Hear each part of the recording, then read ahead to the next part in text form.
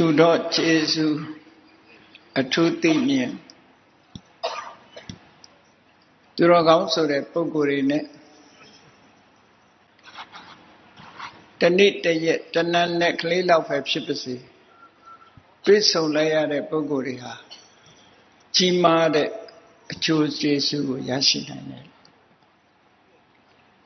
တကယ်ရရှိသွားကြတဲ့ပုံကိုယ်တွေကသူတော်ကောင်းတွေရဲ့အကျိုးကျေးဇူးတွေ သိရှိထုတ်ပေါ်လေးရှိကြဘုရားမြတ်စွာဟောကြားတော်မူခဲ့တဲ့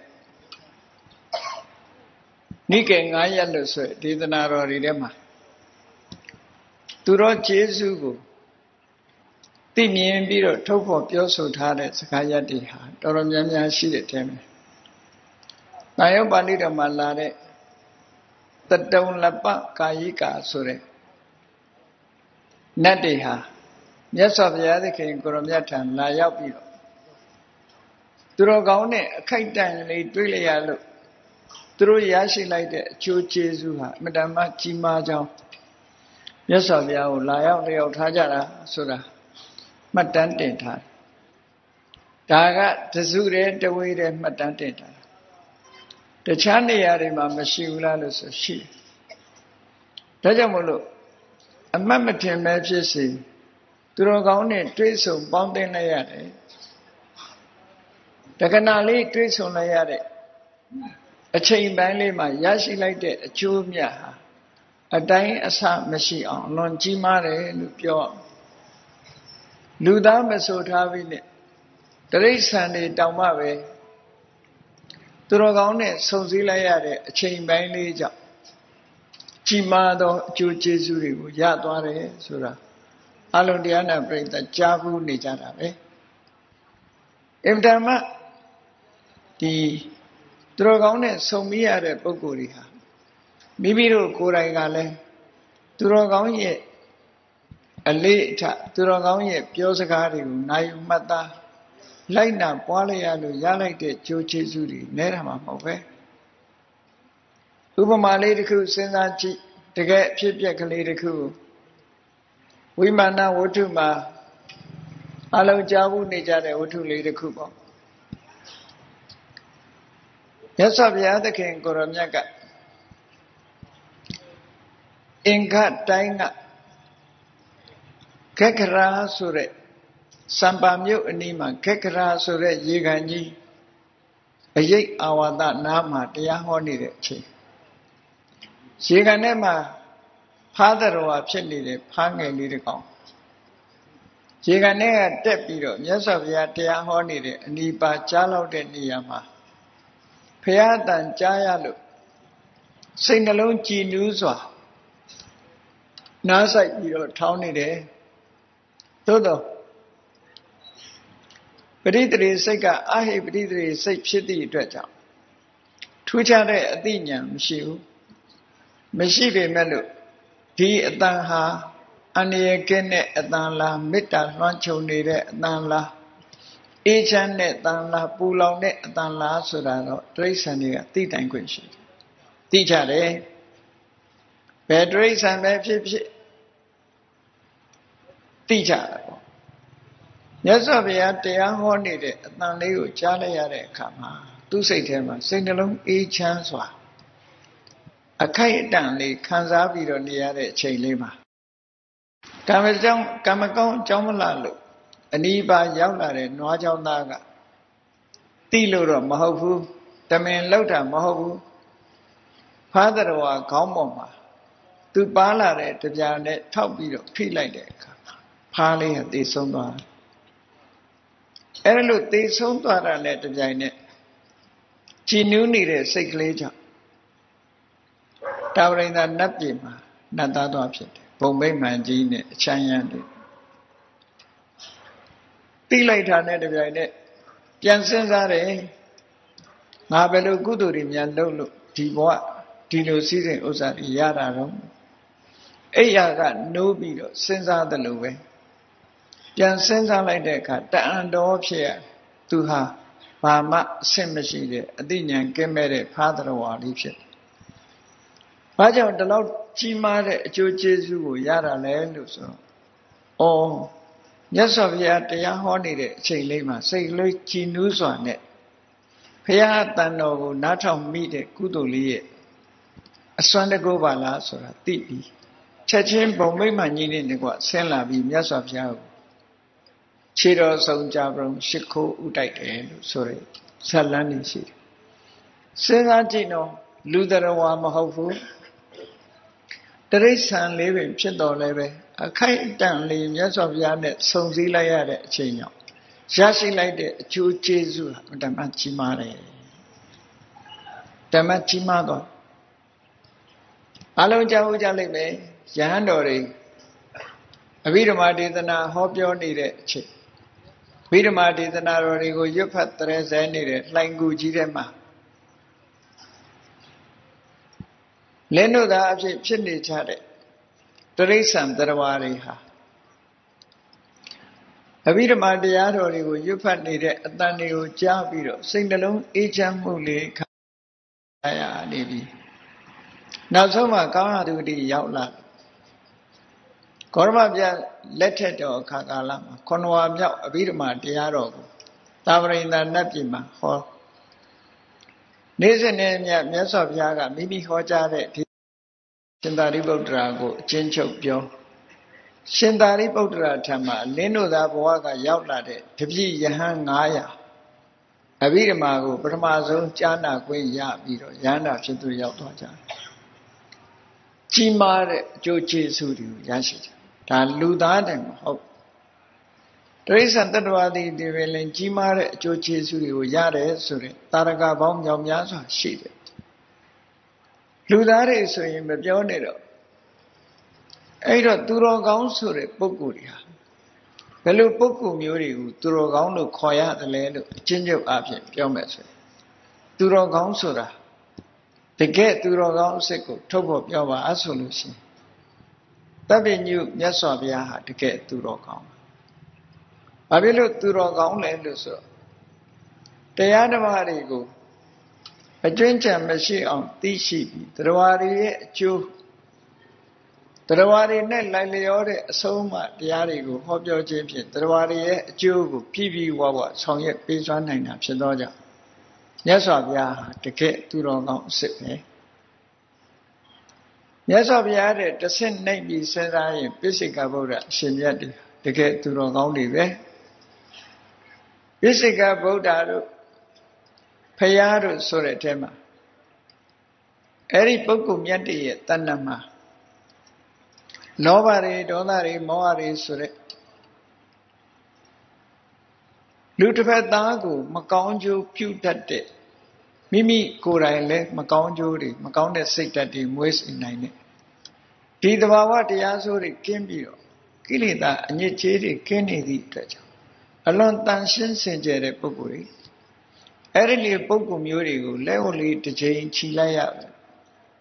ဆွမ်းလေးတစ်စုံလောင်းလိုက်ရရေလေးတစ်ခွက်ကတ်လိုက်ရယုံနေပဲဆုံစည်းတဲ့ပုဂ္ဂိုလ်တွေအကျိုးကျေးဇူးတွေကိုမြောင်များစွာရရှိသွားနိုင်တယ်ဒါတကယ်သူတော်ကောင်းယန္တာပုဂ္ဂိုလ်တွေတကယ်သူတော်ကောင်းတွေအဲ့ဒီသူတော်ကောင်းတွေကိုအမိပြုပြီးတော့လောကမှာ မိမိတို့ရဲ့အဆင့်လိုက်ချမ်းသာဒုက္ခရသွားကြတယ်ဆိုတာဓမ္မထင်ရှားတာရကပေါင်းမြောက်ပြားစွာရှိဆိုပါစို့ဘုရားမြတ်စွာလက်ထက်တော်လုံးမှာတတိုင်းလုံးတပြည်လုံးကောသလတိုင်းမှာဖိမ့်မိန်တုံအောင်ကြောက်နေရတဲ့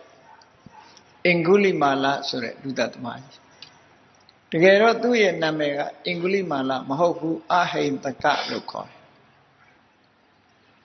အဟိန်တကဆိုတာဘယ်သူမှမညှင်းဆဲဘူးအလွန်မေတ္တာကြီးမားသူလို့ဆိုတဲ့အဓိပ္ပာယ်ရသို့တော့သူ့နာမည်နဲ့ဆန့်ကျင်ဘက်သူလုပ်နေတဲ့အလုပ်တွေကပါလေလေညှင်းဆဲတပ်ဖြတ်မှုဆိုတဲ့အလုပ်ကိုလုပ်တယ်ဒါမို့သူကိုယ်တိုင်ပြန်ပြောတဲ့စကားထဲမှာအဟိတကောတိမေနမံဟိတကတ္တဖုရိတတော သူ့နာမည်အဟိတကလို့မိဘကပေးထားပြီမဲ့လို့လူသားတော်ဝါတွေဒုက္ခရောက်အမြဲတမ်းညှင်းဆဲတပ်ဖြတ်ခဲ့တယ်ဆိုတဲ့အကြောင်းသူပြန်ပြောတယ်နာမည်နဲ့မလိုက်အောင်ဆိုဝါတောင်းကြတဲ့တကယ်လူဆိုးကြီးပေါ့သို့တော့လူဆိုးကြီးလို့ဆိုပေမဲ့လို့ရုပ်မှတဲ့စိတ်ဓာတ်မရှိ တချို့ကဆိုးလဲဆိုးတယ်ရုပ်လဲရုပ်မှဆိုးပြီးတော့မရုပ်မှတဲ့ပုံကိုယ်တွေကြတော့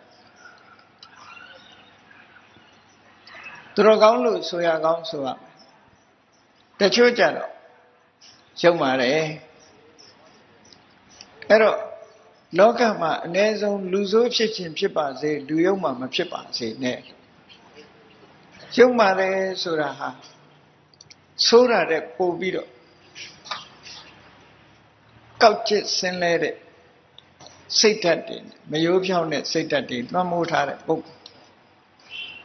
အဲ့တော့အင်္ဂုလိမာလဟာလူဆိုးကြီးဖြစ်ပေမဲ့လူလူယုံမှကြီးမဟုတ်ဘူးမြတ်စွာဘုရားနဲ့တွေ့တဲ့အခါမှာမြတ်စွာဘုရားရဲ့စကားတခွန်းကြောင့် လက်လက်တွေအကုန်စွန့်ပစ်ပြီးတော့မြတ်စွာဘုရားထံချင်းကပ်ပြီးယဟန်ဖြစ်ကိုခံယူသွားတာနော်အဲ့ဒီမှာဒီအင်္ဂုလိမာလဟာအလွန်ဆိုးသွမ်းတဲ့အကုသိုလ်တွေအလုပ်တွေဘယ်လိုပဲလုပ်နေမြတ်စွာဘုရားနဲ့တခဏလေးတွေ့လိုက်ရတဲ့အချိန်မှာဘုရားကမိန့်ကြားတဲ့စကားလေး ငါဟာရက်နေတာပါမင်းရက်ဖို့လိုပါတယ်လို့ပြောတဲ့စကားလေးမှာတံဝေကဖြစ်ပွားပြီးဒီစကားရဲ့အဓိပ္ပာယ်သူ့ဘဝကိုဒီစကားရဲ့အဓိပ္ပာယ်ကိုစဉ်းစားပြီးသူ့ရဲ့ဘဝဟာအကြီးကျယ်ပြောင်းလဲသွားမြတ်စွာဘုရားကိုမေးတယ်ရှင်ဘုရားကသွားနေရတဲ့နဲ့ရက်တယ်လို့ပြောတယ်တပည့်တော်ရက်နေတာကြတော့မင်းရက်ရက်ဖို့လိုတယ်လို့ပြောတာဘာအဓိပ္ပာယ်လဲဆိုမြတ်စွာဘုရားရှင်းပြတယ်လေငါက သူများတဲ့တတ်တယ်စတယ်မကောင်းမှုအကုသိုလ်တွေကိုရက်ပလိုက်ပြီမင်းကမရက်သေးဘူးတန်တရားထဲမှာဆက်သွားမဲ့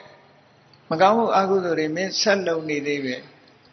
ငါကမကောင်းမှုအကုသိုလ်တွေအလုံးရလိုက်ပြီလို့ဒီအဓိပ္ပာယ်ကို ရှင်းပြတဲ့အခါလုံးဝသဘောပေါက်သွားတယ်ဒါကြောင့်မို့မြတ်စွာဘုရားနဲ့တခဏလေးတွေးလိုက်တာနဲ့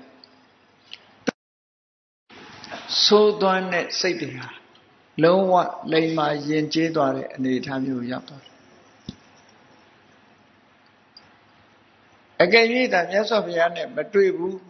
သူတော်ကောင်းနဲ့မတွေ့လိုက်ရဘူးဆိုရင်အင်္ဂုလိမာလရဲ့ဘဝတန်တရားဟာကြောက်စရာကောင်းတဲ့အနေအထားမျိုးဖြစ်မှာပဲသို့တော်မြတ်စွာဘုရားရဲ့အကျိုးကျေးဇူးသူတော်ကောင်းနဲ့ပေါင်းလိုက်ရတဲ့အကျိုးကျေးဇူးကြောင့်တန်တရားဝကလွတ်သွားရုံမက သူလှုပ်တဲ့အကုသိုလ်တွေလည်းပဲနောင်ဘဝဆိုတာမရှိတော့သည့်အတွက်ကြောင့်ထိုအကုသိုလ်တွေကိုခံရဖို့ဆိုတဲ့ခန္ဓာတရားလည်းသူ့မှာဖြစ်တော့ဘူးခန္ဓာမဖြစ်သည့်အတွက်ကြောင့်အကုသိုလ်ရဲ့အကျိုးဆက်တွေဟာလည်းမျက်ခြေပြတ်ပြီးတော့ရက်သွားတယ်အဲ့ဒါကိုစာပေကျမ်းကမှာဗာပြောလဲယတပါပံကတံကမ္မံကုတလေနပိဋိယတိ လှုပ်ထားတဲ့မကောင်းမှုတွေအားလုံးကိုကုသိုလ်နဲ့ပိတ်ပြလိုက်တယ်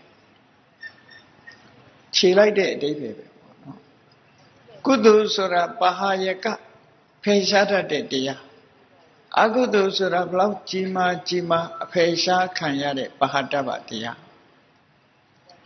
ကုသိုလ်နဲ့အကုသိုလ်ကုသိုလ်ကစွမ်းအားကြီးတယ်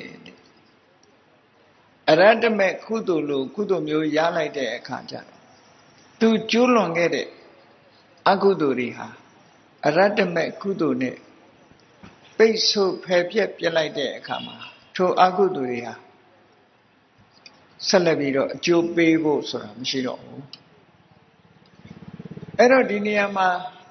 ဘယ်လိုကြောင့်အကျိုးမပေးတာလဲလို့စဉ်းစားကြည့်မယ်ဆိုရင်အရတ္တမဲ့ဆိုတဲ့ကုသိုလ်ကကိလေသာအလုံးကိုဖယ်လိုက်တယ် အဝိဇ္ဇာတဏှာဆိုတာတွေမရှိတော့ဘဝတစ်ခုကိုတိဆောက်နေတာဘယ်သူကတိဆောက်တာတော့ဆိုကိလေသာနဲ့ပေါင်းတိဆောက်တာကိလေသာတွေဖယ်လိုက်တာနဲ့တပြိုင်နက်ကံဆိုတာအကျိုးမပေးနိုင်ဘူးဒါလို့ဆိုပရိစ္ဆသမုပ္ပါကြည့်လေအဝိဇ္ဇာပစ္စယသင်္ခါရသင်္ခါရပစ္စယဝိညာဏံဆိုတဲ့အပိုင်းလေးကြည့်အဝိဇ္ဇာဆိုတာကိလေသာ သင်္ခါရဆိုတာကံကံနဲ့ကိလေသာပေါင်းပြီးတော့မှဝိညာဏဆိုတဲ့ဟောအကျိုးထုတ်တာတခါနောက်ပိုင်းကြည့်အောင်မလားတဏှာပစ္စယဥပါဒနာဥပါဒနာပစ္စယဘဝဆိုတာကိုကြည့်အဲ့ဒီမှာတဏှာတို့ဥပါဒံတို့ကကိလေသာဘဝဆိုတာကမ္မဘဝကိုယူတဲ့အခါမှာကံတရား အဲ့တော့ကိလေသာရဲ့ကံရဲ့ကနှစ်ခုပေါင်းပြီးတော့ဘဝပစ္စယဇာတိဆိုတဲ့အကျိုးတစ်ခုထုတ်ပြန်တာအဲ့တော့ကံနဲ့ကိလေသာနှစ်ခုပေါင်းမှဘဝဆိုတဲ့အကျိုးတရားကိုထုတ်လို့ရ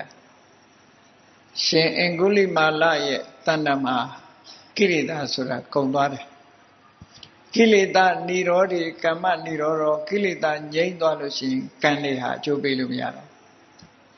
အဲ့ဒီကံတွေအကျိုးပေးလို့မရလို့ကံတွေဟာလည်းပဲဘဝတစ်ခုထူထောင်နိုင်စွမ်းမရှိလို့ရပ်ဆိုင်သွားတယ်အဲ့တော့ကံတရားတွေကနေလွန်မြောက်သွားတယ်လို့သူတို့ဆိုဒီလောက်ကြီးမားတဲ့အကျိုးကျေးဇူးဟာဘသူကြောင့်ရတာတော့ဆိုရသော်ဘုရားဆိုတဲ့သူတော်ကောင်းနဲ့ပေါင်းစုံရလို့ရတာတာမန်အားဖြင့်ရနိုင်ဖို့ဆိုတာမရှိဘူးတဲ့ အင်တန်ကြီးမားတဲ့အကျိုးကျေးဇူးတစ်ခုရသွားတယ်ဒီလိုဆိုလိုတာပေါ့နော်တာရကပေါင်းမြောင်များစွာရှိတယ်သူတော်ကောင်းနဲ့တွေ့လျရလို့ရှိရင်တစ်ချိန်တစ်ခါလေးပဲတွေ့လိုက်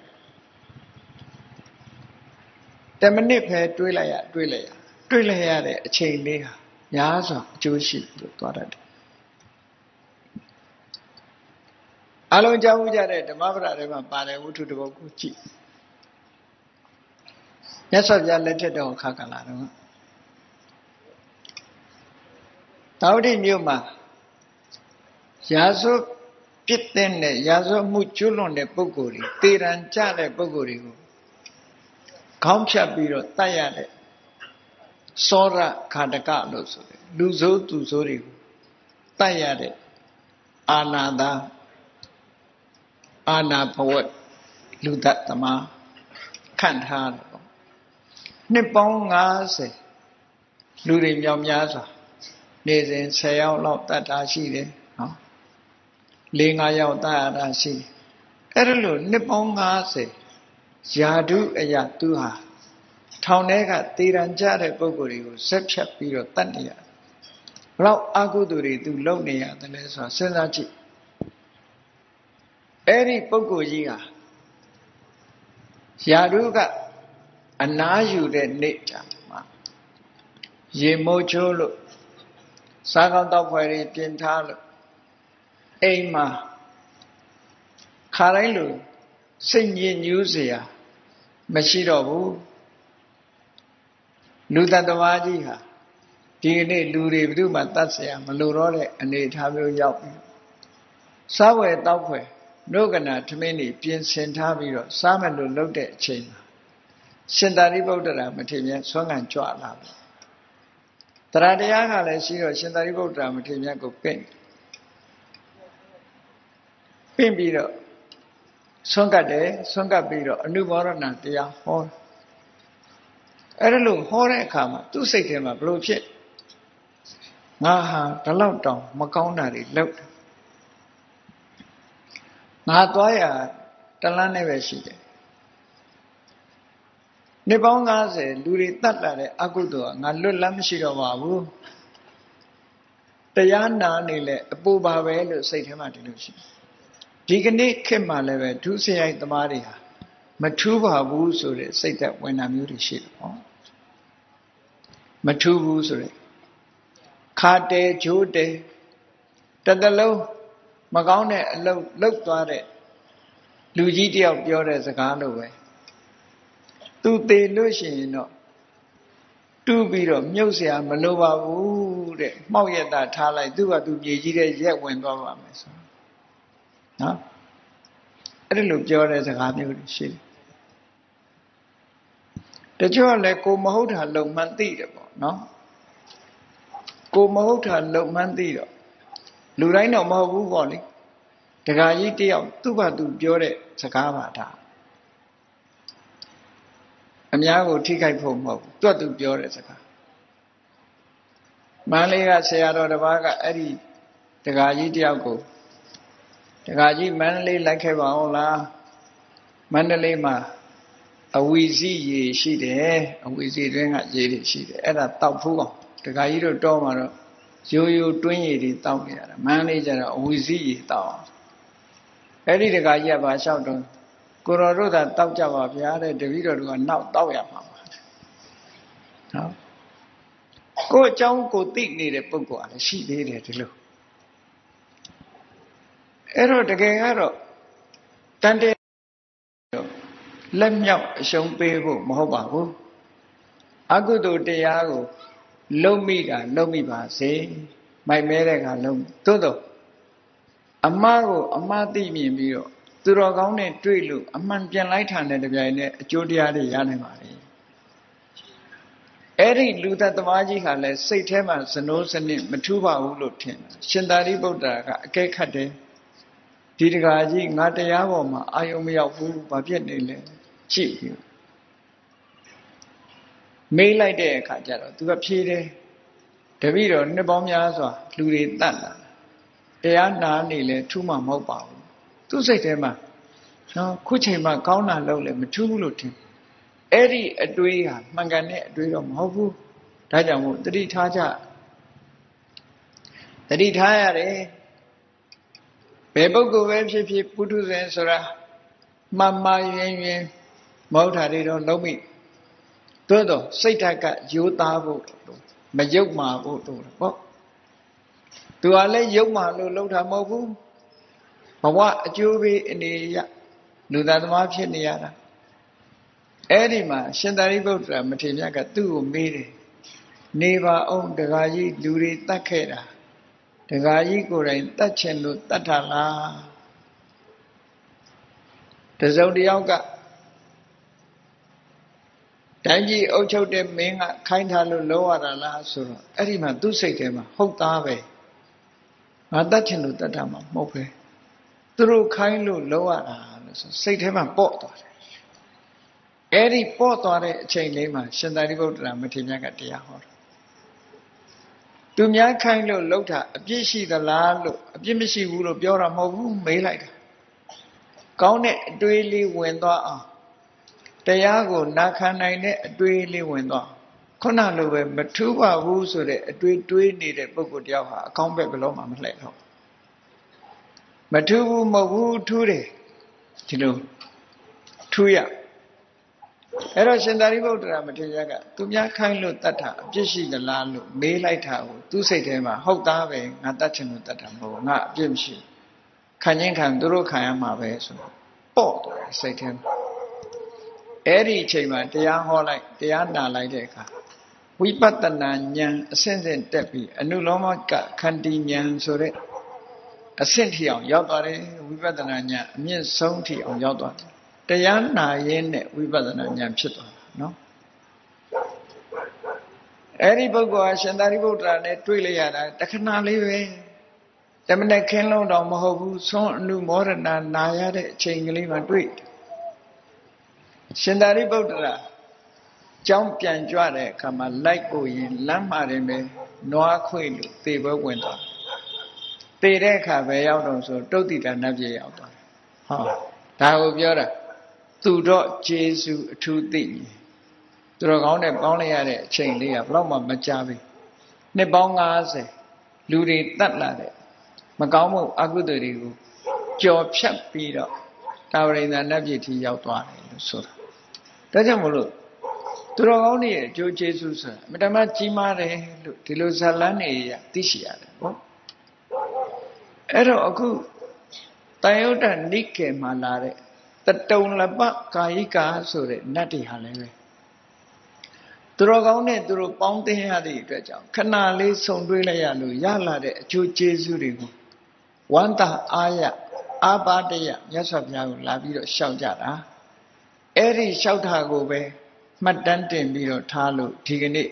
သိရှိခွင့်နာယူခွင့်ရကြတာပေါ့သုတ်တန်အနေနဲ့ခေါ်တဲ့အခါမှာတတုံလပကာယိကတတုံလပဆိုတာ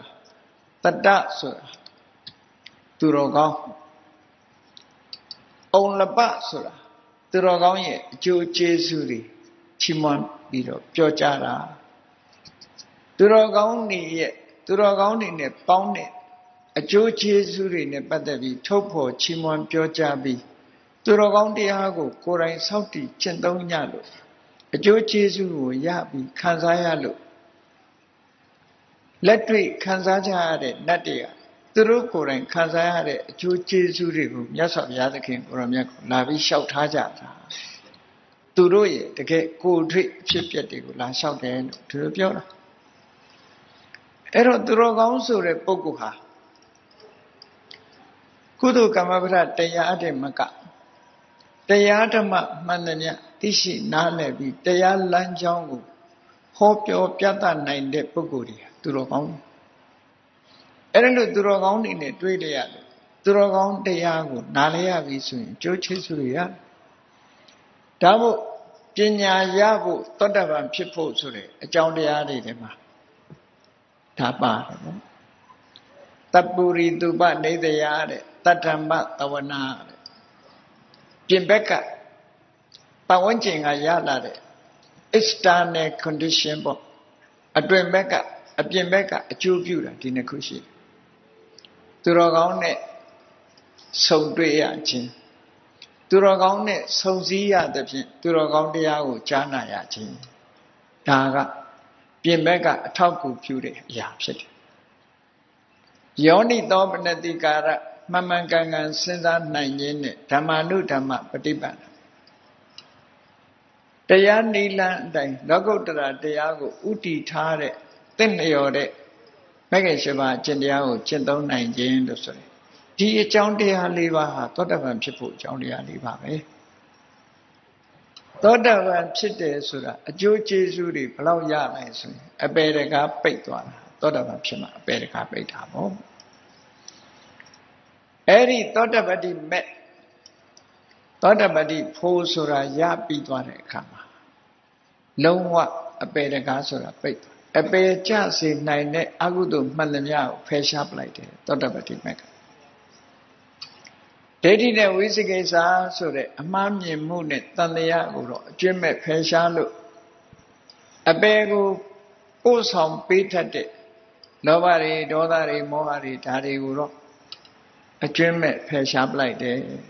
အပါယကမဏိယအကုသိုလ်ကျွင့်မဲ့ဖယ်ရှားအပေကိုမပို့နိုင်တဲ့အတိုင်းအတာရှိတယ်လောဘဒေါသမောဟတော့သူ့တဏ္ဍာမှာကြံသေးတယ်ဟောသို့တော့စွန့်ရည်တတိဟာအမှန်တမ်း ကောင်းသည့်အတွက်ကြောင့်ဘဝမှာလည်းပဲခုနှစ်ဘဝတည်းနေပြီးတော့ခုနှစ်ဘဝတည်းပဲတန်တရာမှာပရိသေနေရပြီးနောက်ဆုံးမှာတော့နိဗ္ဗာန်ချမ်းသာကိုမျက်မှောက်ပြုသွားမဲ့ပုဂ္ဂိုလ်တွေဟောသောတပန်ဖြစ်ဖို့ဆိုတဲ့ထဲမှာလည်းပဲသူတော်ကောင်းနဲ့ပေါင်းသင်ပြီးသူတော်ကောင်းတရားကြားနာရခြင်းဆိုတာဟာအဓိကအဖြစ်ပါဝင်နေတယ်ဟောဒါကြောင့်မလို့ သူတော့ဂျေစုအထူးသိပြီသူတော်ကောင်းနဲ့ပေါင်းသင်ရမှုကဘလောက်တန်ဖိုးကြီးတယ်ဆိုတာကိုဒါကိုရှင်းပြောတဲ့စကားတစ်ခုအဲ့တော့တတုံလပကာယိကာဆိုတဲ့နတ်တွေဟာကြည့်ဘယ်ဘဝကလာလို့ဒီစကားကိုသူတို့လာပြောကြတာလဲဘယ်သူတော်ကောင်းနဲ့ပေါင်းရလို့သူတို့ဒီအကျိုးကျေးဇူးတွေကိုရတာလဲဆိုတာကိုသူတို့ရဲ့ခံစားချက်တွေနဲ့လက်တွေ့ဘဝနဲ့လာပြီး နတ်တွေနတ်တွေဟာမြတ်စွာဘုရားသခင်ကိုရမြတ်လက်ထက်တော့အချိန်ကဆိုလို့ရှိရင်မြတ်စွာဘုရားသခင်ကိုရမြတ်ဟာပထမယံပတ်လုံးပထမယံဆိုဒီမှာ6နာရီလောက်ကနေ10နာရီလောက်ထိလူသားတွေကိုတရားဓမ္မဟောပြောပြီး10နာရီနောက်ပိုင်းမှာမစ္စည်းမယံဆိုတဲ့အလေယံမှာမြတ်စွာဘုရား သမာဘဝင်စားတာတို့နာယူဖို့တို့ဆိုတဲ့အချိန်အဲ့ဒီအချိန်မှာညတခေါင်ကြော်တာနဲ့တပြိုင်နက်နတ်တွေဟာမြတ်စွာဘုရားစီရောက်လာလေးရှိကြတယ်ဟောအဘိက္ကန္တာယရတ္တိယလို့ဆိုတယ်ညင်ဥယံကြော်လွန်သွားတော့အကောင်ယံဘက်ရောက်လာတဲ့အချိန်မှာနတ်တွေဟာလူတန်တိတ်ဆိတ်ပြီးတော့နေတဲ့အချိန်မြတ်စွာဘုရားစီလာကြတယ်လာပြီးတော့ရှ िख ိုးကြတယ်တရားမေးလျောက်ကြတယ် သူတို့လျှောက်ခြင်းတဲ့စကားတွေကိုလျှောက်ကြအဲ့ဒါလိုပဲတတုံလကပိုင်ကာယိကဆိုတဲ့နတ်တွေဟာသူတော်ကောင်းတရားကိုလက်တွေ့ကျင့်သုံးလို့ရရှိတဲ့အကျိုးတရားတွေကိုချီးမွမ်းပြောကြားခြင်းနဲ့နတ်တွေဥယျာအပြင်900လောက်ရှိတယ်သူတို့နတ်ပြည်ကဆင်းသက်လာပြီးမြတ်စွာဘုရားစီလာတယ်လာပြီးတော့ လျှောက်ကြတဲ့အခါမှာအစုလိုက်အစုလိုက်ပဲလျှောက်တယ်သူတို့ခေါင်းဆောင်လုပ်တဲ့ပုဂ္ဂိုလ်ကလျှောက်တယ်အလုံးဆိုလို့ရှိရင်နတ်အာ900ရှိတယ်ပေါ့သူလာပြီးတော့လျှောက်တယ်အဲ့ဒီထဲမှာပထမတရားကဘာလျှောက်တာလဲလို့ဆိုတပ္ပိရေဝတမသိထတပ္ပိကုတ်ဖေထတန်တဝံသူပြောချင်တဲ့စကားက တပ္ပိဆိုတာသူတော်ကောင်းသူတော်ကောင်းဆိုတာလူလေကောင်းတင့်တယ်တဲ့ပုဂ္ဂိုလ်အယမူးနေတဲ့ပုဂ္ဂိုလ်တယောက်မဟုတ်တာလုပ်နေတဲ့ပုဂ္ဂိုလ်တယောက်ရုပ်ပါတဲ့ပုဂ္ဂိုလ်တယောက်လူကြီးလူကောင်းတကယ်အခမ်းအနားတွေမှာဘယ်တင့်တယ်ပါမလဲသူတော်ကောင်းဆိုဒီမှာတဘာယံတာဓုတပ္ပိတဘာယံတာဓုတဘော သူတော်ကောင်းဆိုတဲ့စကားလုံးတပ္ဖဆိုတဲ့စကားလုံးလေးကိုအတိပ္ပယ်ဖွင့်ဆိုတဲ့အခါမှာဂုံရှိတရေရှိလူတွေထဲမှာတင့်နောက်တင့်တယ်လူရင်ချေကောင်းမြတ်တဲ့အည်သွေးရှိတဲ့ပုဂ္ဂိုလ်မျိုးကိုသူတော်ကောင်းလို့ခေါ်တာတဲ့ဒီနေ့အဲ့ဒီလိုသူတော်ကောင်းမျိုးတွေနဲ့ပဲပေါင်းသင်ဆက်ဆံပါလို့ဒီလိုပြောတာတပ္ပိရေဝတမာသေးထ သူတော်ကောင်းတွေနဲ့သာဆုံမိပါစေတပ္ပိကုတ်ဘေးထတန်တော်သူတော်ကောင်းတွေနဲ့ပဲမိတ်ဆွေဖွဲ့ပါတဲ့တူနဲ့တူမိတ်ဆွေဖြစ်ချင်ရင်သူတော်ကောင်းနဲ့ပဲမိတ်ဆွေဖြစ်ပါသူတော်ကောင်းတွေနဲ့ပဲဆုံတွေ့ပါသူတော်ကောင်းနဲ့ပဲမိတ်ဆွေဖြစ်ပါဘာဖြစ်လို့တိုက်တွန်းရလဲလို့ဆိုတတံတတ္ထမမညာယသူတော်ကောင်းနဲ့တွေ့ရင်သူတော်ကောင်းဆရာ စကားကြားရမှာပဲလေ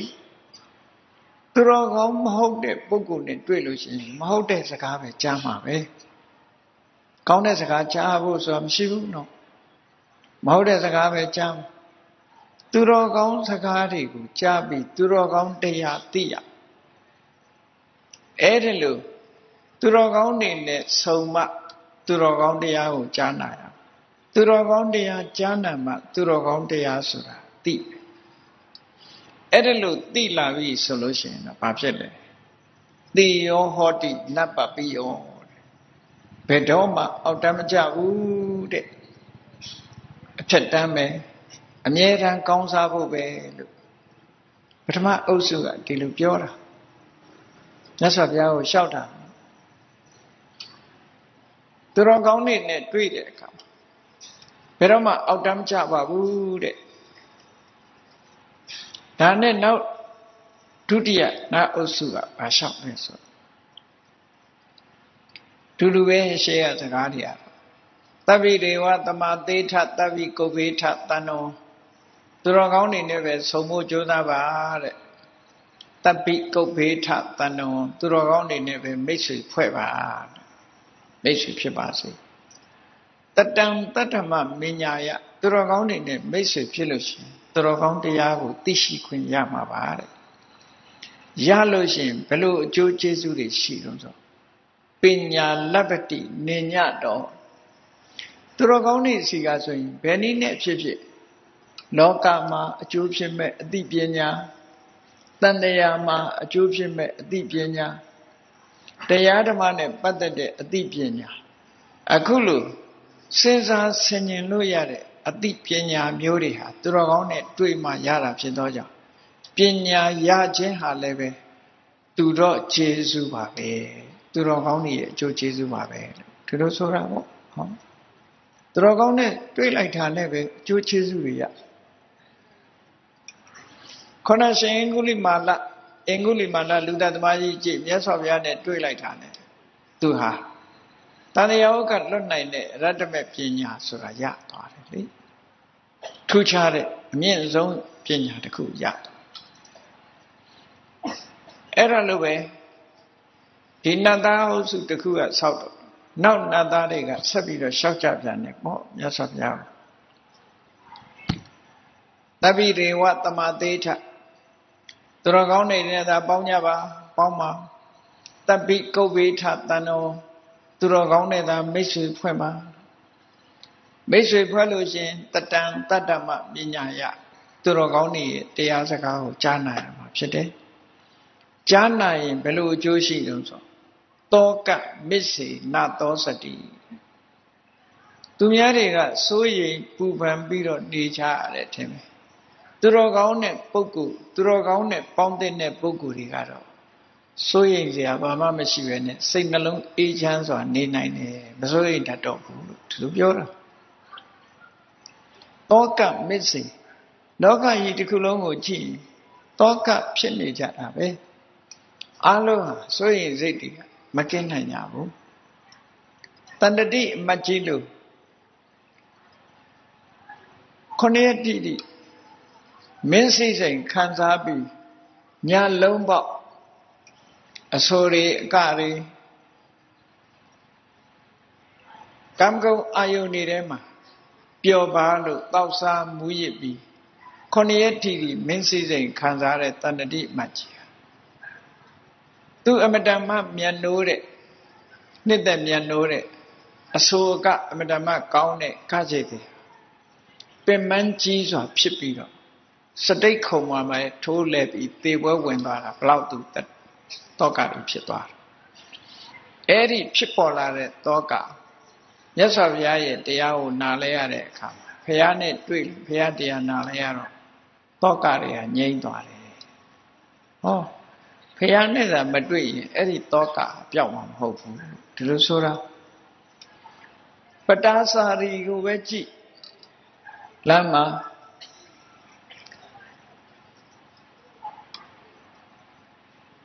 သူ့ရဲ့ယောက်ျားဆုံးတယ်ကလေးတစ်ယောက်လဲလမ်း အိမ်ပြန်လာတဲ့အခါကျတော့မိဘနှစ်ပါးနဲ့မောင်လဲဆုံးနေအောင်သိရတယ်လောကကြီးကခြားခြားတောကလည်းဖြစ်ပြီးနောက်ဆုံးမှာတောကုံမတ္တကလို့ခေါ်တယ်တောကကြောင့်ယူသွတ်သွားအဲ့ဒီယူသွတ်သွားတဲ့ပတာစာတွေဟာအဝတ်မကတ်ဖြစ်နေသည့်အတွက်ကြောင့်မြတ်စွာဘုရားသခင်ကိုရမြတ်နဲ့တွေ့လိုက်လို့ဘုရားကတတိထာငါနမလို့တတိန်ပฏิလဘ ပခိလိငါနမတတိယပါလို့ဒီစကားလေးလည်းကြားလိုက်ရတယ်သူ့ရင်နဲ့နှလုံးထဲမှာအေးချမ်းသွားပြီးတော့အယူပြောက်သွားတာဒါမျိုးဆိုတာနော်မြတ်စွာဘုရားနဲ့တွေးလိုက်ရလို့တောကအကြောင်းဖြစ်ပေါ်နေတဲ့ယူတတ်မှုတွေငြိမ့်ပြီးတော့တောကမစ္စေနသောစတိတောကဖြစ်နေရတဲ့ပုဂ္ဂိုလ်တွေအလဲမှာသူဟာတောကကင်းတဲ့ပုဂ္ဂိုလ်တူဖြစ်သွားတယ် ဒါသူတော်ကောင်းနဲ့တွေ့ရတဲ့အကျိုးကျေးဇူးတွေပဲဒီလိုဆိုတာပေါ့နော်နောက်တစ်ခုကြတော့ရှောက်ပြန်တယ်တပိဒေဝသမာသေးထတပိကုဝေထတန်တုံတတံတတ္တမမြညာယသူတော်ကောင်းနဲ့စုံစည်းပါစေသူတော်ကောင်းကိုသာလေမိတ်ဆွေဖွဲ့ပါမိတ်ဆွေဖွဲ့လို့ရှိရင်သူတော်ကောင်းတရားကိုသိရှိနားလည်ပြီးတော့ ရလာတဲ့အကျိုးကျေးဇူးကတော့ဘာလို့ဆိုညာတိမစ္စေဝေရောစတိ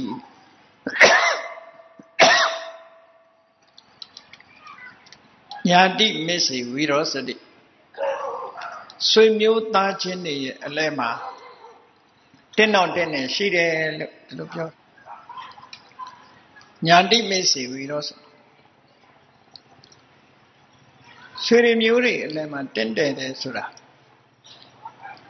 လူတော်လူကောင်းဖြစ်သွားပြီဆိုလို့ရှိရင်ဆွေမျိုးသားချင်းအတိုင်းဝိုင်းထဲမှာသူဟာအလေးပေးခြင်းခံရတယ်ဆွေတွေမျိုးတွေကနေပြီးတော့ဝိုင်းဝန်းပြီးတော့လူတော်လူကောင်းဖြစ်သည့်အတွက်ကြောင့်ကျင့်တတ်ကြတယ်အားရကြတယ်ထူးချွန်တဲ့ပုံကိုတယောက်ဖြစ်သူ့ကိုဆွေတွေမျိုးတွေကဝမ်းမြောက်ဝမ်းသာဖြစ်ကြ ဒါကြောင့်မို့လို့ဆွေတွေမျိုးတွေအလဲမှာပရိသတ်ရဲ့အလဲမှာတိုင်းသူပြည်သားတွေအလယ်မှာသူဟာ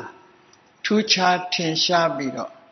လူတကာကဝိုင်းပြီးတော့ကြည်ရတဲ့ပုံကုမျိုးဖြစ်လာနိုင်တယ်လို့ဒီလိုဆိုတာပေါ့နော်ဒါကိုပြောတာညာတိမစ္စေဝီရောစတိတဲ့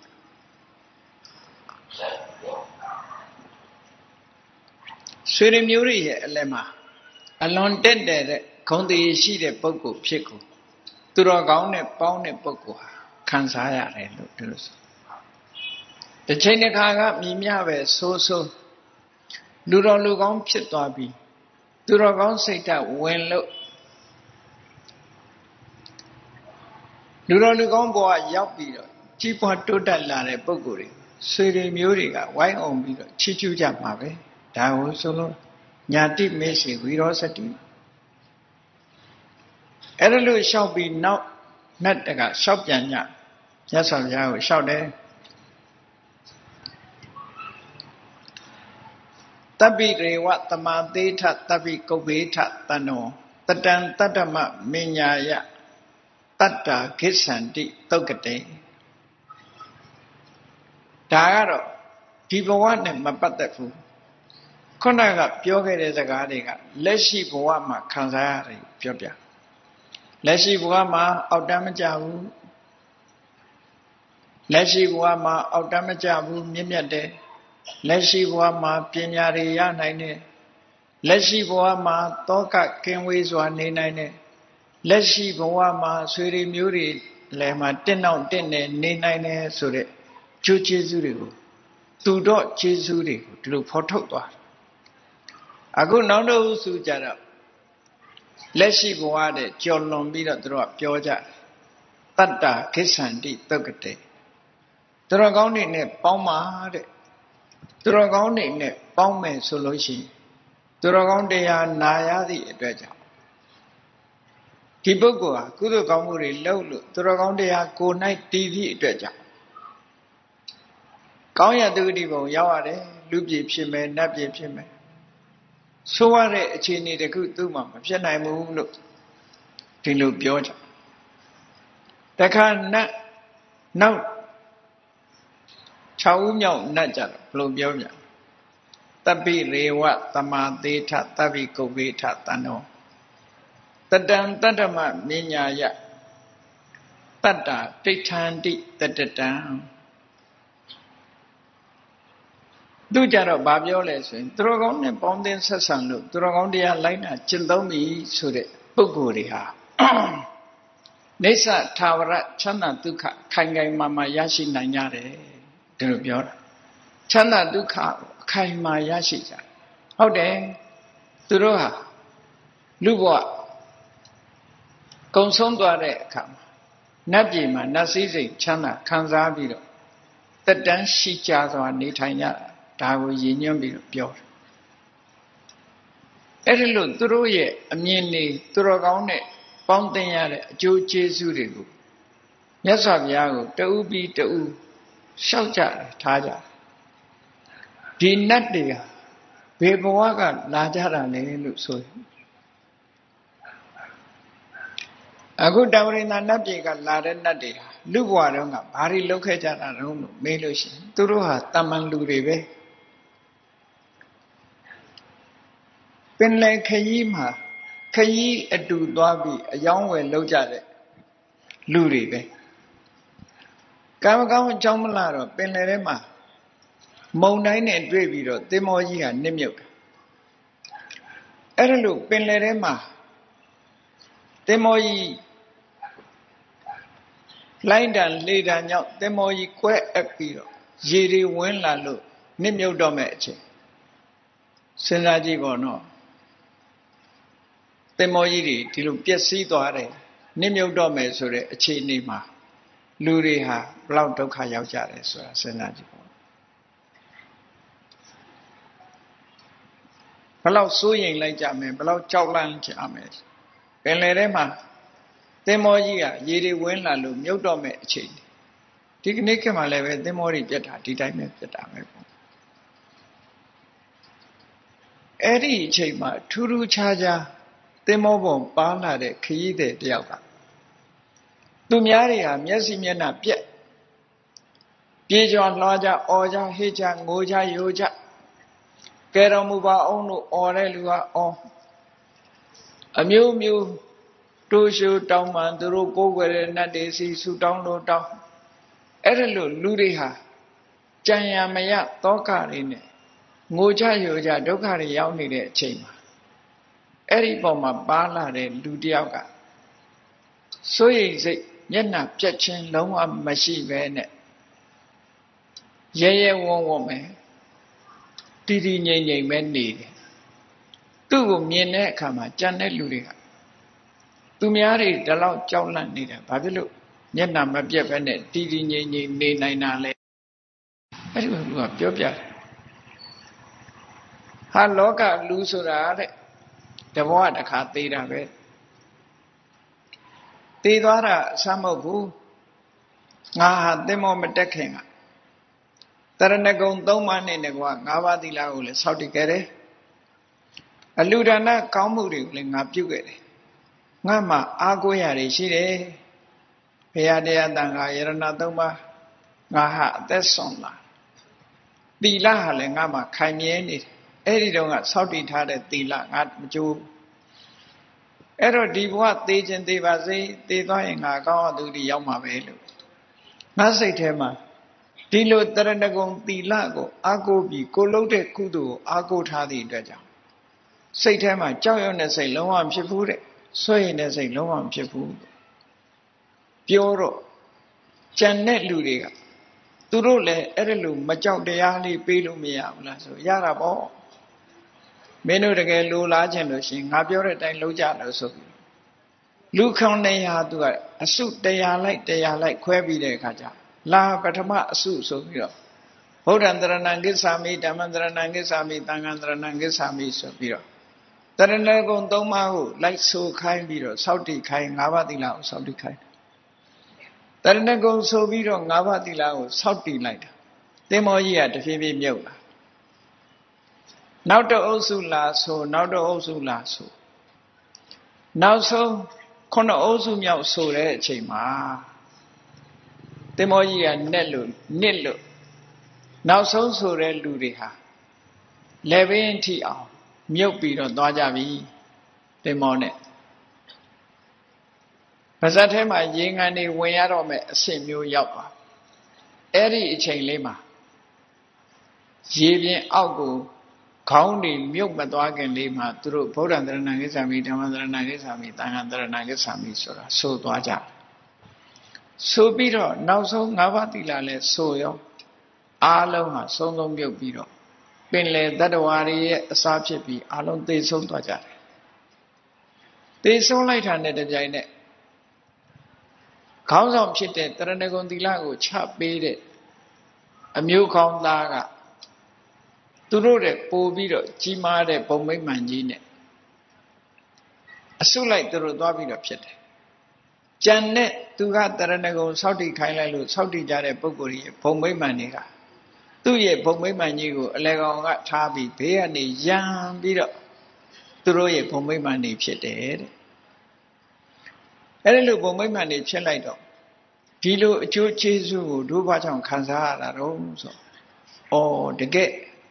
တရဏဂုံနဲ့၅ပါးသီလတည်တဲ့ဥပဒကဆိုတဲ့သူတော်ကောင်းတယောက်ကိုငါတို့အမိပြုပြီးတော့အခုလိုအကျိုးကျေးဇူးကိုခံစားရတာပါလားတိမ်သွားအောင်တော့တို့တွေတွေအရှုံးမဖြစ်ဘူးအကယ်၍များကြောက်ကြောက်လန့်လန့်အော်ဟစ်ပြီးတော့သေဆုံးသွားကြမယ်ဆိုရင်တို့တွေတွေရဲ့ဘဝဟာတွေးရစရာမရှိဘူးတဲ့တခဏလေးဆုံလိုက်ရတဲ့လူတော်လူကောင်းသူတော်ကောင်းရဲ့အကျိုးကျေးဇူးကြောင့် တို့ဟာအခုလို့နတ်ပြည်မှာချမ်းချမ်းသာသာနတ်သားဘဝရောက်ရှိကြရတယ်လို့ဒီအကျိုးကျေးဇူးတွေကိုသိလို့မြတ်စွာဘုရားကိုလာလျှောက်ကြတာသူတို့ဒီအကျိုးကျေးဇူးတွေဟာသူတော်ကောင်းနဲ့ဆုံရလို့ရတဲ့အကျိုးကျေးဇူးတွေပါလို့ဆိုပြီးတော့လာလျှောက်အဲ့ဒီမှာသူတို့လျှောက်တာတဲ့ပို့ပြီးတော့မြတ်စွာဘုရားကနောက်ဆုံးဏီကုံးချုပ်အနေနဲ့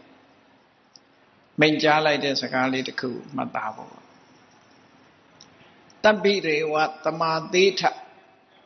တပ္ပိကုတ်ဝေထတဏ္ဏဝတတံတတ္တမမညာယတဗ္ဗဒုက္ခပမုစတိ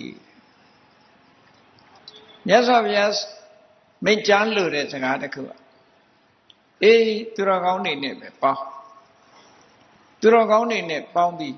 သူတော်ကောင်းတွေနဲ့မိတ်ဆွေဖြစ်မယ်ဆိုရင်တဲ့ သူတော်ကောင်းတရားကိုသိရှိခွင့်ရသူတော်ကောင်းတရားကြားနာခွင့်ရလို့သူတော်ကောင်းတရားကိုသိရှိခွင့်ရလို့ရှိရင်တဲ့ခုနကပြောတဲ့အကျိုးကျေးဇူးတွေဆိုတာမပြောပါတော့ပါဘူးတဲ့အဲ့ဒီဟာတွေကမပြည့်စုံသေးဘူးတဲ့မြတ်စွာဘုရားကမိတ်ရှိလိုက်တာကြတော့တပ္ပဒုက္ခပမုစတိဆင်းရဲဒုက္ခမှန်သမျှကလွတ်နိုင်ပါတယ်လို့ဆိုတာဒီစကားနဲ့မြတ်စွာဘုရားက ပြည့်ပြည့်စုံတဲ့အဓိပ္ပာယ်တစ်ခုပေါ်ညွှန်းလိုက်တယ်တပ္ပဒုက္ခဆိုတာဘာပြောတာလဲဆင်းရဲဒုက္ခအလုံးဆိုတာဘာကိုဆိုလိုတာလဲဒီနေရာမှာဒုက္ခဆိုတာခန္ဓာ၅ပါးကိုဆိုလိုတာခန္ဓာ၅ပါးရှိရင်ဆင်းရဲဒုက္ခရှိမှာပဲဆင်းရဲဒုက္ခအလုံးကလွတ်တယ်လို့ဆိုတာခန္ဓာဆိုတာလုံးဝချုပ်ငြိမ်းသွားခန္ဓာချုပ်ငြိမ်းတယ်ဒုက္ခတွေအလုံးချုပ်ငြိမ်းတယ်ဆိုတာဘာလဲနိဗ္ဗာန်ပဲ ပိဿနံခန္ဓာနံនិရောဓောနိဗ္ဗာန်ခန္ဓာ၅ပါးရဲ့ချုပ်ငြိမ်းမှုဟာနိဗ္ဗာန်တရားခန္ဓာ၅ပါးဟာဒုက္ခမြတ်စွာဘုရားကခန္ဓာ၅ပါးကိုသစ္စာ၄ပါးကိုဟောတဲ့အခါမှာဒုက္ခဒုက္ခသမုဒယဒုက္ခនិရောဓဒုက္ခនិရောဓဂာမိနီလို့သစ္စာ၄ပါးကိုဟောကြားတဲ့အခါမှာဒုက္ခဆိုတဲ့စကားလုံးကိုသုံးပြီးတော့ဟောတယ် တချို့တုတ်တန်နေကြတော့လောကလောကသမုဒယလောကនិရောဓလောကនិရောဓဂာမိနီပฏิပဒါဆိုတဲ့လောကဆိုတဲ့သုံးနဲ့သုံးဟောတယ်ဒုက္ခလိုပဲဟောဟောလောကလိုပဲဟောဟောဆိုလိုတာကခန္ဓာ၅ပါးကိုဆိုလိုတယ်ပေါ့ခန္ဓာရှိနေသေးသမျှဘုန်းကြီးတို့တွေဒုက္ခဆိုတာရှိနေအဲ့တော့သူတော်ကောင်းတရားကြားနာလိုက်ရတဲ့ပုဂ္ဂိုလ်တွေဟာခန္ဓာချုပ်ငြိမ်းရာဖြစ်တဲ့ နိဗ္ဗာန်ကိုမျက်မှောက်ပြုနိုင်တယ်ဘယ်ပုံပဲနည်းမျက်မှောက်ပြုတာတော့ဆိုတော့သူတော်ကောင်းတွေရဲ့နီးစနစ်အတိုင်းမဂ္ဂင်၈ပါးအကျင့်တရားကိုကျင့်ကြံကြကိုအားထုတ်သူတော်ကောင်းတရားနာပြီးတော့သူတော်ကောင်းတွေရဲ့ဤစနစ်အတိုင်းမဂ္ဂင်၈ပါးကျင့်တရားကြိုးစားအားထုတ်တာအဲ့ဒီလိုကြိုးစားအားထုတ်တဲ့အခါကျတော့မှဆင်းရဲဒုက္ခအလုံးကလွတ်တယ်လို့ဒီလိုဆိုတာပေါ့ဆိုပါစို့ ရှင်သာရိပုတ္တရာလောင်းဥပဋိတပြပတ်အမှန်တရားကိုလိုက်ရှာတယ်မတွေ့နိုင်ဘူးမှန်တရားမသိဘူးနောက်ဆုံးမှာပိဿဝဂီ၅ပါးထဲမှာပါတဲ့အတ္တစီဆိုတဲ့ဉာဏပုဂ္ဂိုလ်နဲ့တွေ့တဲ့အခါမှာမျက်ခြေမပြတ်အောင်နောက်ကနောက်ရောက်ခံလိုက်သွားပြီးဆွမ်းစားနေတဲ့အချိန်မှာဝကြည့်ငယ်ပြုတ်လို့ဆွမ်းစားပြီးတာနဲ့တပြိုင်နက်သူမေးချင်တဲ့မေးခွန်းတွေမေးတာ ဘသူကိုရည်စူးပြီးသာသနာပေါင်းဝင်တာလဲဆရာကဘသူလဲအဲ့ဒီဆရာကဗာတရားတွေဟောတာတော့သူပြောပြသမ်းပါနဲ့ဆိုပြီးတော့မေးတော့ရှင်အတ္တစီကပြောတယ်သူကရဟန်းဘဝရောက်တာသိမကြသေးဘူးအကျေကြီးမပြောနိုင်ဘူးမြတ်စွာဘုရားရဲ့အယူဝါဒကိုအကျဉ်းချုပ်ပဲပြောနိုင်မယ်ဆို စကလုံးနေများဖို့မလိုပါဘူးတဲ့သူ့ကိုအတူချုပ်လေးပဲအတိတ်ပဲပဲပြောပါလို့ဆိုပြောလိုက်တယ်လေရေဓမာဟေတုပ္ပဘောတေတံဟေတုံတထာဂတောအကြောင်းကြောင့်ဖြစ်ပေါ်လာတဲ့အကျိုးတရားတွေရဲ့မူလပပဝအကြောင်းတရားဆိုတာရှိတယ်အဲ့ဒီအကြောင်းတရားကိုဟောအဲ့ဒီအကြောင်းတရားတွေခြုံငိမ့်သွားလို့ရှိရင်အကျိုးတရားတွေခြုံငိမ့်သွားတယ်ဆိုတာဟောတယ်လမ်းစဉ်ကိုလည်းမြတ်စွာဘုရားဟောတယ်လို့ သစ္စာလေးပါးကိုအတူချုပ်လေးပြောလိုက်တဲ့အခါကြည့်ရှင်သာရိပုတ္တရာအလောင်းဥပဒိတပြပိုက်ဟာအသိဉာဏ်နေပွင့်လင်းသွားပြီးတော့သောတပန်ဖြစ်သွားတာအဲ့တော့အဲ့ဒီအချိန်လေးမှာတရားနာလိုက်ယုံနဲ့ဘလို့ကြောင့်သောတပန်ဖြစ်တာတော့လို့မေးမယ်ဆိုလို့ရှိရင်ဝိပဿနာကျင့်စဉ်နဲ့ပဲသွားတာပဲအဲ့ဒီမှာလေဒုက္ခဆိုတဲ့အရာကို အသိဉာဏ်နဲ့ဆင်ញင်စဉ်းစားပြီးတော့ကြည်တာပထမသစ္စာဟာဝိပဿနာတရားရဲ့အာယုအနေနဲ့ခန္ဓာ၅ပါးဆိုတာကိုတရဝါဆိုတာမရှိဘူးခန္ဓာ၅ပါးသာရှိတယ်အဲ့ဒီရှိတဲ့ခန္ဓာ၅ပါးဟာလည်းပဲဒုက္ခပဲလို့ဆိုတာရှင်းရှင်းလင်းလင်းကြီးသိသွားတယ်အဲ့ဒီဒုက္ခဘာကြောင့်ဖြစ်နေရသလဲဆိုတာလည်းပဲဒုတိယသစ္စာကိုသဘောပေါက်လိုက်တာနဲ့ပဲ တဏှာကြောင့်ဖြစ်နေရတာဖြစ်တော့တဏှာဟာအဓိကအကြောင်းတရားပဲတဏှာကိုဖယ်ရှားရမယ်ဆိုတာသဘောပေါက်ပါအဲ့ဒီဒုက္ခသမုဒယကိုဖယ်လိုက်နိုင်မယ်ဆိုရင်ဒီဒုက္ခတွေဟာချုပ်ငြိမ့်သွားမှာပဲနောက်ထပ်ဘယ်တော့မှမပေါ်အောင်အကြောင်းတတ်နိုင်လို့ရှိရင်အကျိုးဟာရပ်သွားမှာပဲလို့အကြောင်းတတ်လိုက်ရင်အကျိုးဟာရပ်သွားအဲ့ဒီအကျိုးတရားတွေရပ်သွားတာကိုဒုက္ခនិရောဓလို့ခေါ်တယ်အကြောင်းကိုတတ်ဖို့ဆိုတာ သူကြည့်တတ်လို့မရဘူးမှန်ကန်တဲ့လမ်းစဉ်တစ်ခုကြင်ကြံကြိုးကိုအထောက်အမှာဒါကြောင့်မို့မဂ္ဂင်၈ပါးကျင့်တရားဆိုတာမြတ်စွာဘုရားအကြောင်းတရားကိုဖယ်ရှားဖို့အတွက်မဂ္ဂင်၈ပါးကျင့်တရားကိုညွှန်ကြားတော့မဂ္ဂင်၈ပါးကျင့်တရားဆိုတာတခြားမဟုတ်ဘူးသီလသမာဓိပညာသီလနဲ့အခြေခံစိတ်တည်ငြိမ်မှုရအောင်ကြိုးစား သီလအခြေခံလိုက်တဲ့အခါတမာတိဆိုတဲ့စိတ်တည်ငြိမ်မှုကိုရတယ်တမာတိဆိုတဲ့စိတ်တည်ငြိမ်မှုကိုရတာနဲ့အမှန်ကန်သိမှုဆိုတာသိဖြစ်လာအဲ့ဒီသီလတမာတိပညာလို့ဆိုတဲ့ဒီတဘာဝတရားတွေမိမိတဏ္ဍာမှာစွမ်းအားပြည့်အောင်တခဏလေးအတွင်းမှာတရားဓမ္မနာရင်ကနေပြီးနော်အမှန်တရားကိုသိလိုက်တယ်မမှန်ကန်ကန်စဉ်းစားနိုင်တာကသမ္မာသင်္ကပ္ပ ကြိုးစားအားထုတ်မှုကသမ္မာဝါယာမသိလိုက်တာကသမ္မာတတိစိတ်တည်ငြိမ်တာကသမ္မာသမာဓိလို့အဲ့ဒီတရားတွေဟန်ချက်ညီညီနဲ့သူတဏ္ဍာမှာဖြစ်လိုက်တာနဲ့တပြိုင်နက်သမ္မာဒိဋ္ဌိဆိုတဲ့အသိဉာဏ်ပွင့်လင်းသွားတာအဲ့ဒီသမ္မာဒိဋ္ဌိဆိုတဲ့အသိဉာဏ်ဥဆောင်တဲ့အကျင့်တရားတွေကိုမဂ္ဂင်၈ပါးအကျင့်တရားအကျဉ်းချုပ်ပြောရမယ်ဆိုရင် သစ္စာ၄ပါးဆိုတာ ကမ္မထမ်းရှုဖို့ဟောတဲ့အထဲမှာမက္ခသစ္စာနဲ့ဒုက္ခကိုရှုရမယ်နော်မက္ခသစ္စာကဝိပဿနာဉာဏ်လောကီဘက်မှာကြည့်မယ်ဆိုရင်မက္ခသစ္စာကဝိပဿနာဉာဏ်ဒုက္ခသစ္စာဆိုတာဝိပဿနာဉာဏ်ရဲ့အာယုံဟောမက္ခသစ္စာနဲ့ဒုက္ခသစ္စာဆိုတဲ့ဝိ အာယုံပေါ်မှာအလုတ်လုတ်ပြီးတော့ရှုမှတ်ဆင်ခြင်ပြီးတော့နေလိုက်တဲ့အခါမှာဘာကိုတွေ့တုံးဆိုဒီဒုက္ခတရားချုပ်ငြိမ်းရာကိုတွေ့သွားတယ်နိဗ္ဗာန်ကိုအာယုံပြုတာလို့ပြောတယ်တွေးလိုက်တာနဲ့တပြိုင်နက်ဘာကိုဖယ်ရှားလိုက်တာတော့ဆိုဒုက္ခကိုထုတ်လုံနိုင်တဲ့ထုတ်လုံနေတဲ့ဒုက္ခသမုဒယဆိုတဲ့တဏှာကိုဖယ်ရှားလိုက်တာမြတ်စွာဘုရားကအတူချုပ်ကလေးဝိပဿနာလုပ်ငန်းတစ်ခုကိုဟောတာ နော်အတူချုပ်လေးဟောဝိပဿနာရှုရင်ဘာရှုရမှာတော့ဒုက္ခရှုရမှာဒုက္ခဆိုတာဘာပြောတာတော့ကိုယ်တဏ္ဍမရှိတဲ့ယုံနဲ့နံကိုဆိုလိုတာဒုက္ခသစ္စာကိုရှုတာဘယ်သူနဲ့ရှုတာတော့ဆိုမဂ္ဂင်၈ပါးမဂ္ဂသစ္စာနဲ့ရှုတယ်ရှုရင်ဘာတွေ့မှာတော့ဆိုရင်ဒုက္ခនិရောဓကိုတွေ့ဒုက္ခនិရောဓကိုတွေးလိုက်တာနဲ့တပြိုင်နက်ဘာကိုဖယ်တာတော့ဆိုဒုက္ခသမုဒယဆိုတာကိုဖယ်လိုက်တယ်ဟောသစ္စာ၄ပါးနဲ့ဒီမဲ့ ဒီနိဗ္ဗာန်ဆိုတာမျက်မှောက်ပြုလို့ရအေးဒါကြောင့်မို့လို့သူတော်ကောင်းတရားကိုသူတော်ကောင်းတွေနဲ့ပေါင်းသိရလို့သူတော်ကောင်းတရားကိုကြားနာရသဖြင့်မြတ်စွာဘုရားကတပ္ပဒုက္ခပမောစတိဒုက္ခခတ်သိမ်းကလွတ်မြောက်နိုင်တယ်ဒီအကျိုးကျေးဇူးထီအောင်ရငါဘုရားနဲ့တွေ့ရသည့်အတွက်ကြောင့်တရားတွေအားလုံးဟာဆဲဒုက္ခလွတ်မြောက်ကြရတယ်လို့ဒီလိုဟောပြီးတော့ဒီဒေသနာမှာ သူတော်ကောင်းနဲ့ပေါင်းတင်ခြင်းရဲ့အမြင့်ဆုံးအကျိုးကတော့ဆင်းရဲဒုက္ခအလုံးကလွတ်ပြီးနိဗ္ဗာန်ကိုမျက်မှောက်ပြုနိုင်တဲ့အကျိုးပဲဖြစ်တယ်လို့မြတ်စွာဘုရားဒီလိုဟောတာ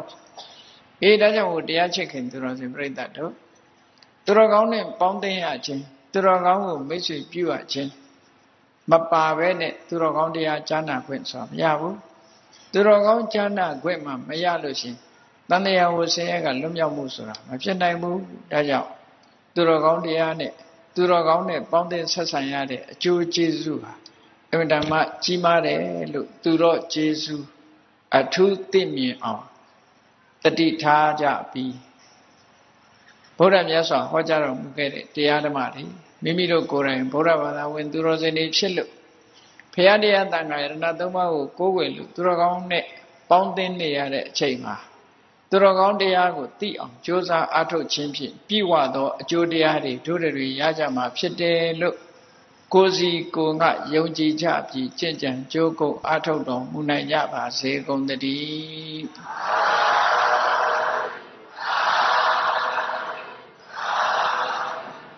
မေတ္တာပို့ရအောင်တတဝါများစွာဖေးရန်กว่า